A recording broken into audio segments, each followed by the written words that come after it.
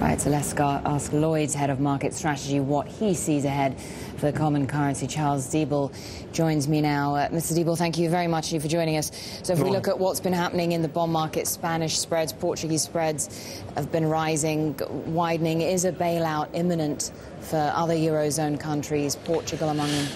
Um, no, I don't think so, not at this point in time. Um, I, I, think you're right, though, to focus here um, on perhaps how the, the, the, crisis is shifting in that uh, with Ireland um, in a slightly different situation to Greece, it was the banking sector that uh, has really taken them to the brink and uh, to request a bailout. And, and that's why the euro is getting a little bit spooked on forex markets at this point in time and why people are, are focusing particularly on Spain perhaps more now than Portugal because clearly the banking sector in Spain is relatively weak.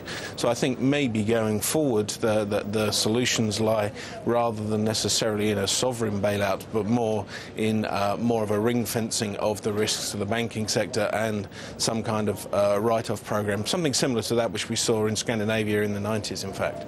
But if we look at what's been happening in the markets, I mean, how difficult would it be to ring fence that kind of risk, given that a bailout deal hasn't even been sealed for Ireland, and yet attention has already turned to Portugal and Spain. Does this mean that debt contagion is effectively unstoppable at this point? I certainly wouldn't say it's unstoppable, but it, it certainly highlights the risk that um, policymakers don't necessarily have as much time as they would like. Um, you would have perhaps expected maybe more of a, a, honeymoon period after a bailout was announced by Ireland, but still we don't know the details, um, and thereby people uh, remain cautious as to exactly what you know the devil lies in the detail. Um, but I, I, think from a broader point of view. Uh, the concept here is that markets don't have a great deal of confidence at this point in time that it won't snowball, and thereby people are being cautious.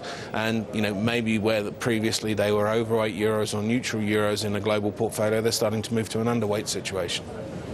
So, what do policymakers then need to do, do you think, to bring this under some control? Does there almost have to be some sort of simultaneous bailout package for Ireland and Portugal? Well, no, I mean, uh, I don't think we're at the stage right now that Portugal needs a bailout. Uh, it's clearly a matter of whether the markets um, uh, provide financing to Portugal in the next year when they come back to the market in January. Now, uh, at this point in time, uh, that looks questionable. But the reason it's questionable is that people don't have a great deal of confidence that policymakers have created a solution to the, the broader problem. An individual country bailout, fine, it will work. I, you know, the issues with respect to Ireland are largely uh, out of the way now because we, we do know that there is a support program coming.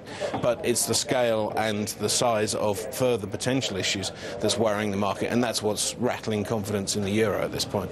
Yeah, I mean, how worried are investors about this spreading to larger EU countries, which could pose a much greater systemic risk. To what extent could Spain now be dragged into the mire?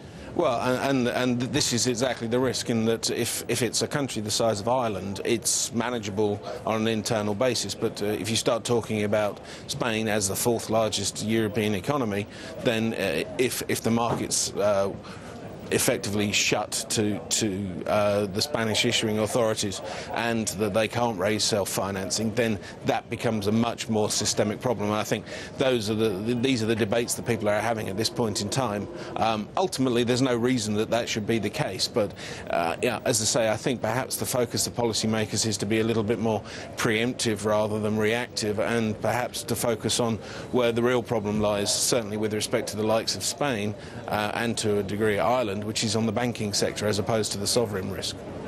Charles Diebel, Senior Fixed Income Strategist at Lloyds, thank you so much for joining us.